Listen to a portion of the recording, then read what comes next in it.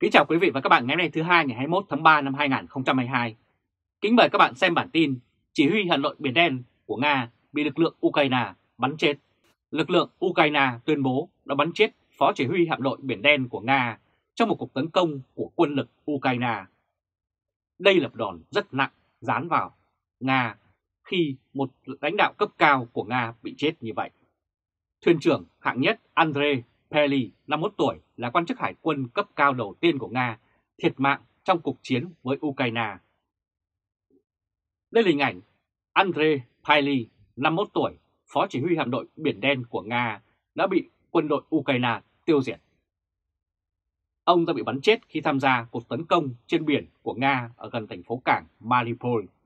Đây là một trận chiến vô cùng ác liệt và thành phố dường như sẽ trở thành một Stalingrad Quan chức Ukraine Anton cũng tuyên bố Pali đã bị giết chết trước đó vào Chủ nhật mà không cho biết thêm chi tiết.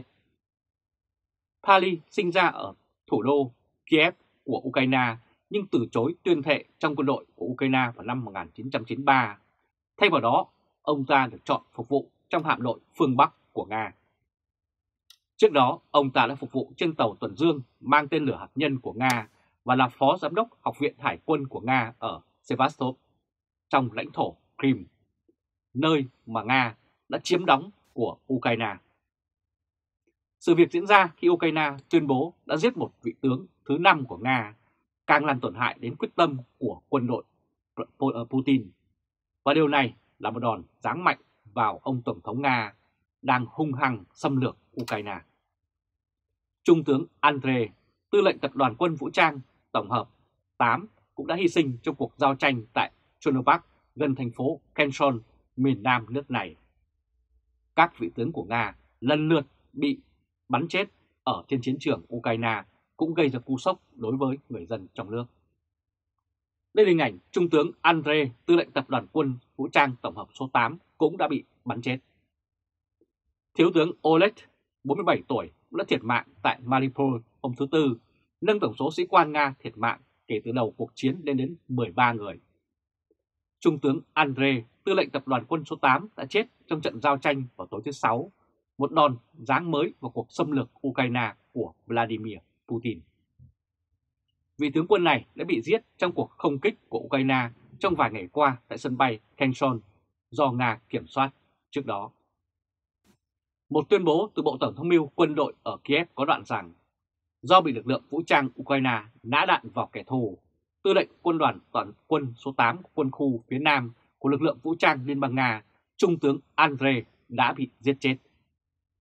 Ông ta là quan chức quân sự hàng đầu của Nga, thiệt mạng trong cuộc chiến tranh của Nga đang xâm lược Ukraine hiện nay. Và bản thân phía Nga cũng đã xác nhận cái chết của đại tá Sergei thuộc trung đoàn nhảy dù cận vệ số 331 vào thứ Sáu sau cuộc giao tranh ác liệt gần Hostoma. Đây là hình ảnh Đại tá Sergei, chỉ huy trung đoàn nhảy dù cận vệ 331. Cái chết của vị đại tá này xảy ra sau cái chết của một đại úy, điệp viên trong một chiến dịch tối mật ở Ukraine. Nghĩa là Vladimir Putin hiện đã mất tổng cộng có 13 tướng chỉ huy trong cuộc chiến xâm lược này. Đại úy tình báo quân đội GRU của đại là đại úy Alexei, 31 tuổi, đến từ Tumen ở Siberia, cũng đã chết trong cuộc tàn sát ở Mariupol nhưng thông tin chi tiết về cái chết của anh ta vẫn chưa được tiết lộ. Chính cơ quan tình báo quân đội Nga KRU đã đầu độc điệp viên đào tàu Sergei bằng thuốc độc thần kinh Novichok ở Siberia. Vào ngày viên sĩ quan tình báo quân đội này qua đời, anh ta đã nói chuyện với cả vợ và mẹ của mình ở Nga để chúc mừng họ vào ngày quốc tế phụ nữ. Nhưng đến tối cùng ngày thì họ được biết anh ta đã chết. Cái chết của viên tình báo này làm gia tăng sự tức giận và thất vọng của người dân nước Nga với số lượng lớn quan tài đang lần lượt phải đưa trở về Nga chôn cất. Đây là hình ảnh tổng thiệt hại của quân Nga theo ước tính của quân đội Ukraine, trong đó có 13.800 lính Nga đã thiệt mạng. Đó chỉ mới là một phần nhỏ so với thông tin mà phía Ukraine cho biết là đã có hàng nghìn chiếc quan tài của binh sĩ Nga được mang về quê hương để chôn cất các binh sĩ của mình tử trận. Cũng có thông tin cho rằng Nga đã bí mật vận chuyển xác của các binh sĩ Nga đã hy sinh về nhà vào ban đêm trên các chuyến tàu và xe cứu thương từ Belarus để cố gắng che đậy quy mô thực sự của số người chết đang bị bưng bít. Cũng theo các nguồn tin quân sự Mỹ thì có khoảng 7.000 binh sĩ Nga được cho là đã thiệt mạng và 21.000 người bị thương và không thể tiếp tục chiến đấu, cùng hàng ngàn phương tiện chiến đấu, xe tăng và xe cơ giới của Nga bị phá hủy.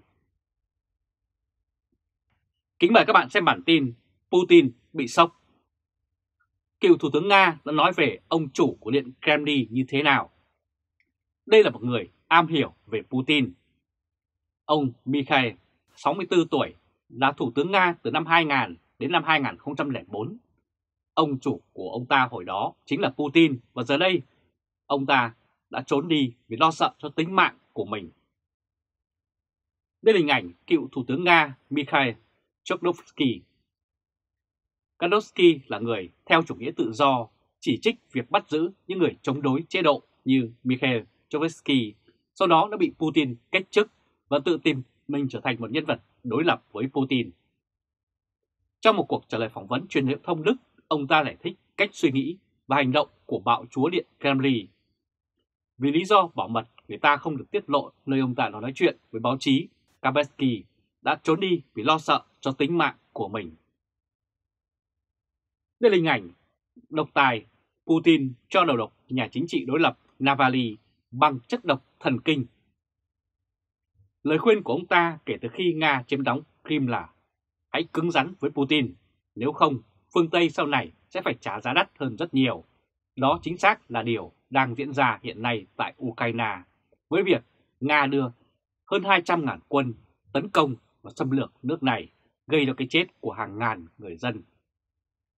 Giờ đây, sau khi Putin xâm lược toàn bộ Ukraine, phương Tây đã đồng loạt phản ứng là với các biện pháp trừng phạt, cấm nhập khẩu và cô lập những hậu quả đối với Nga trước sự bất ngờ của Putin như Mikhail giải thích rằng Putin đã rất ngạc nhiên và sốc trước quan hệ đối tác giữa châu Âu và các đối tác xuyên Đại Tây Dương. Tuy nhiên, theo ông, không có khả năng cuộc đổ máu sẽ sớm kết thúc vì Putin rất hằng đây là hình ảnh ông Putin đưa quân chiếm đóng Crimea của Ukraine. Ông nói tiếp, tôi chưa nhìn thấy chiến tranh chấm dứt. Làm sao tới mức xảy ra việc Nga xâm lược Ukraine như vậy? Ông Mikhail nói rằng tin tưởng chắc chắn rằng phương Tây đã quá mềm yếu với Putin. Vào năm 2008, các cuộc đàm phán về việc Ukraine gia nhập NATO lẽ ra có thể bắt đầu, nhưng đặc biệt là Thủ tướng Đức khi đó là bà Angela Merkel đã phản đối mạnh mẽ. Phương Tây giờ đây chỉ có thể giúp đỡ trong việc cung cấp vũ khí cho Ukraine mà thôi. Đây là hình ảnh cựu Thủ tướng Đức Angela Merkel phản đối Ukraine gia nhập NATO. Ông Michael tiếp tục nói rằng, việc cung cấp vũ khí phải được tiếp tục và nhìn thấy ưu thế then chốt của Putin là các máy bay phản lực chiến đấu. Cái gọi là vùng cấm bay trên lãnh thổ Ukraine có thể hủy diệt con át chủ bài lấm máu này. Khi đó, các máy bay chiến đấu của Nga sẽ không được phép cất cánh nữa. Và ông Kazanov cũng yêu cầu các nước phương Tây nên thiết lập vùng cấm bay, nhưng nếu Putin vẫn cho máy bay phản lực của mình bay, thì máy bay phản lực của phương Tây sẽ phải đánh chặn máy bay ném bom của Nga. Hậu quả có thể dẫn tới cuộc chiến tranh thế giới. Nhiều khả năng hơn là việc mở rộng các biện pháp trừng phạt kinh tế đối với Nga để cho đất nước này không còn nguồn tài lực cho chiến tranh của mình. Đây là hình ảnh Ukraine yêu cầu phương Tây thiết lập vùng cấm bay để khống chế máy bay chiến đấu của Nga bay trên vùng trời của Ukraine và tàn phá đất nước này bằng ném bom, bắn tên lửa hoặc bắn đạn vào những khu dân cư, bệnh viện, trường học của Ukraine. Và chỉ có dầu khí thì mới giữ cho nền kinh tế Nga tồn tại được. Cựu Thủ tướng Nga cũng phân tích tiếp, ông Putin đang phải chịu áp lực rất lớn do các lệnh trừng phạt kinh tế cứng rắn. Tất cả người Nga đã cảm nhận được sự hạn chế này, chỉ có việc cung cấp dầu và khí đốt cho phương Tây mới còn giữ được sức sống cho nền kinh tế của Nga. Cũng theo ông Kasyanov, Cộng hòa Liên bang Đức đóng vai trò trung tâm. Ngay sau khi Đức cắt giảm mua dầu khí đốt, đồng rút của Nga sẽ mất giá, ông nói tiếp. Mặc dù từ lúc chiến tranh xảy ra, đồng rút của Nga đã mất giá gần 30% và tài sản của các nhà tỷ phú Nga cũng bị đóng băng ở nước ngoài. Đây là hình ảnh đường dẫn khí đốt dòng chảy phương Bắc 2 từ Nga sang Đức đã bị hủy bỏ ngay sau khi ông Putin cho quân tấn công xâm lược Ukraine. phương Tây không nên dựa vào các cuộc đảo chính quân sự và những kẻ tài phiệt nổi loạn. Chính nền kinh tế Nga sụp đổ đang khiến bạo chúa Điện Kremlin gặp nhiều rắc rối nhất. Tuy nhiên, Kasanov không trông chờ triều đại khủng bố của Putin sớm kết thúc. Ông nói, Putin cần chiến tranh, ông ấy cần chiến thắng.